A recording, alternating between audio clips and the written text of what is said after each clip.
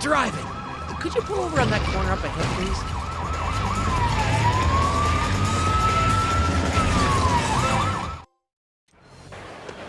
Do you mind if I drive it from here? I want to show Ellie that I can be trusted.